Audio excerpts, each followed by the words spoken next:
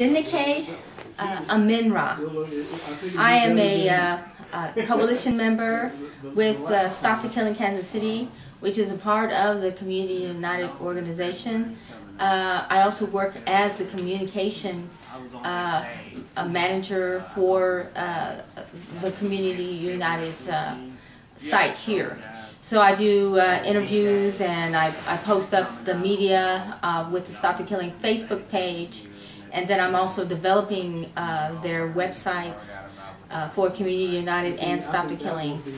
Uh, one of the things that I, I um, also uh, support uh, as a coalition member is the Amin Par Ankh Urban Farms and East Meets West of Troost. Both of those are economic development organizations. We work with at-risk youth. We e essentially take in interns.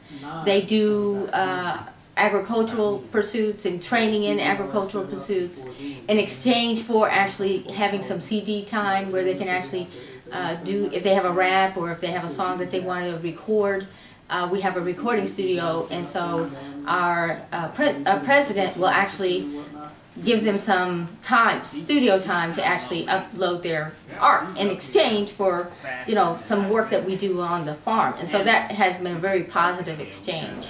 And that they're doing things that they've never done before. You know, they do tilling and uh, light uh, um, work in, in our farm.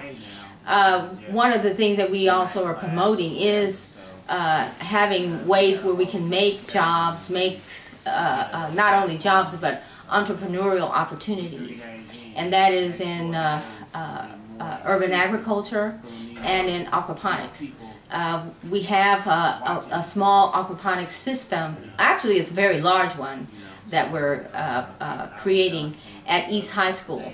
they actually have a Nelson and Pade aquaponics system where they have fish in tanks and then they actually have food that's growing and uh, the Amin Par Ankh farm is also growing herbs and foods and the Three Sisters as far as a, a Native American plant life.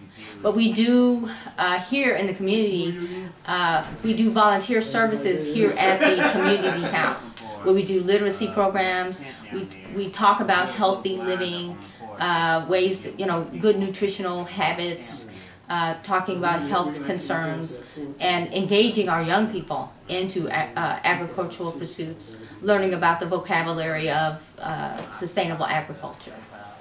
That's wonderful.